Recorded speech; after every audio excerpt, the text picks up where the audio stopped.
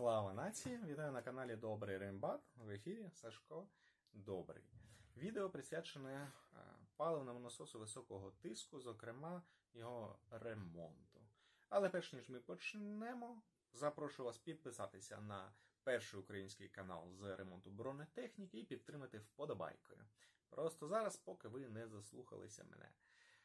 Отже, коротенько, Е, комплексний підхід до ремонту, відновлення, обслуговування, налаштування паливних насосів високого тиску моторів типу УТД-20, це БМП-1, БМП-2, здійснює команда майстрів з Київської області, очолювана паном В'ячеславом, з яким я нещодавно познайомився і починаю співпрацю по дещо інших темах. Але коли я почув від нього, що вони вже не один рік благополучно надають цю послугу і мають задоволених клієнтів, я вирішив розповісти про це на моєму каналі. Чому? Тому що зараз особливо актуально розповсюджувати.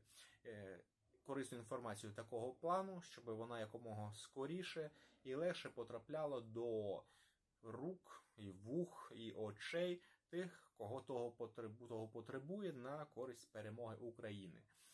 Отже, повторюся, з людиною я тільки починаю знайомитися співпрацювати. Відгуків по співпраці я особисто не маю, але. Скажімо так, подібне перетягує подібне, як людина порядна, як відповідальний майстер, механік і підприємець. Я вірю і сподіваюся, що ви також матимете тільки позитивні враження і результати співпраці з В'ячеславом. Контакти в описі під відео. Звертайтесь, досліджуйте і успіхів вам! Тепер більш розлого про паливний насос високого тиску. Зокрема, прочитаємо інструкцію з військового ремонту, яка нам дає параметри, за якими треба, за яких треба проводити заміну паливного насосу. Так, військовий ремонт. У нас передбачає крупновузловий ремонт, заміну вузлів. Ми туди не мали би лізти, не мали би лізти в усі ці мотори, електромотори і різні там насосики, і бозна що іще. Але реалії сучасні українські е, змушують нас це робити самим, тобто ремонтним підрозділам, і шукати людей в цивільному житті, хто би це зробив, тому що нам техніка потрібна в доброму стані, потрібна вона нам вчора, щоб благополучно перемагати. Тому ми робимо досліджуємо, створюємо і звертаємося до сторонніх фахівців, тому що маємо такі реалії. Отже, перепрошую за кацапську мову, вже як література створена, так я і читаю. Топливный насос заменять при следующих неисправностях. Первое.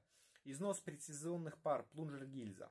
Признаки износа. Падение мощности двигателя при правильной регулировке привода управления топливным насосом и угла опережения подачи топлива, а также при исправных форсунках и воздухоочистителя. Э, значительное разжижение масла в картере двигателя. 2. Заедание нагнетательного клапана секции в верхнем положении.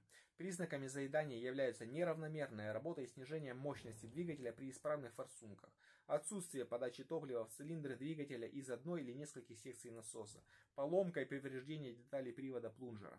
3. Поломка пружины нагнетательного клапана или зависание плунжера в гильзе.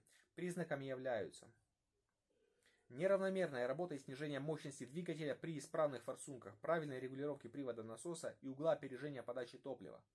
При исправных форсунках не работает одна или несколько секций топливного насоса. 4. Нарушение регулировки ограничителя хода рейки и ограничителя поворота рычага подачи топлива, вследствие чего двигатель идет в разнос, тобто набирає оберти 3000 и выше. Так. Или не развивает эксплуатационных оборотов. Работа двигателя сопровождається повищеним розходом топлива. І тут, до речі, я сам давно вже цього не читав, бо ну, я сам не моторист.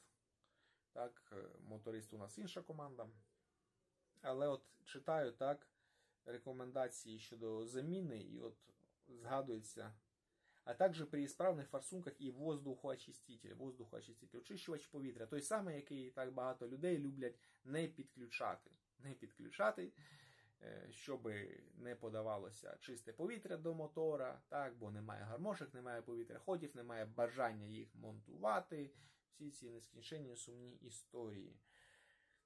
Але навіть в роботі паливного насосу високого тиску, здавалося би, так, але також впливає очищувач повітря згідно військового ремонту, так, цією книжкою, за якою стоять науково-дослідницькі маса робіт та інститути фахівців. Так, знаю, що тема, тема ця гаряча, актуальна, затребувана. Кому це потрібно, цікаво, хто в тому має потребу, звертайтесь. Успішної вам співпраці. Наостанок покажу вам сам паливний насос високого тиску, кому цікаво подивитися. От. І також, повторюся, запрошую розповсюджувати відео в середовищі тих, кому це цікаво, профільні групи в соціальних мережах. Просто по рідних знайомих, підписуйтеся, вподобаєш коментарі, все допомагає розповсюджувати цю важливу інформацію, виносити її на перші шпальти інтернету і таким чином сприяє перемозі. Отже, поїхали подивимося, і я далі піду працювати. От вона гриба моєї мрії, паливний насос високого тиску. На ньому так зване порося, паливний насос низького тиску. Є у мене окреме відео присвячене нумерації циліндрів на трубках подачі пального до циліндрів, так, до форсунок. Хтось може сказати, як же їх можна поставити не туди, якщо вони унікальної форми. Я вам скажу дуже просто. Чуваки в різному неадекваті гнуть трубки, ставлять їх, як їм хочеться. І я трапляв на машини, де подача трубок не відповідала циліндрам. Пильнуйте це. Що ще про це можна сказати? Абсолютно екзотична річ, абсолютно екзотична річ, яка найекзотичніша, мабуть, що мені трапилося. От сюди була машина, от сюди потрапило каміння між паливним насосом високого тиску і мотором. І воно там крутилося, крутилося, крутилося під час роботи і протерло дірку в мотор. Так, наскільки пам'ятаю.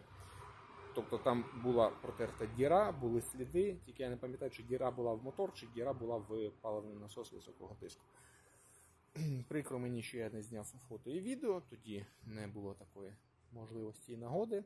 Це зовсім екзотичні варіанти, які кажуть нам про що? Про те, що бережіть машину від сміття взагалі і каміння, зокрема, так, бо воно туди падає і робить дірки. Все. Користуйтесь, чекаю на ваші думки, враження, зауваження у коментарях під відео. Перемагайте! Слава нації!